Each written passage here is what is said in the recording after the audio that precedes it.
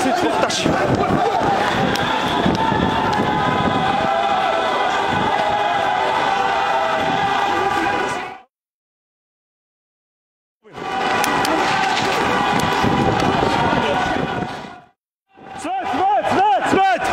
Luca. Ah, ci sono.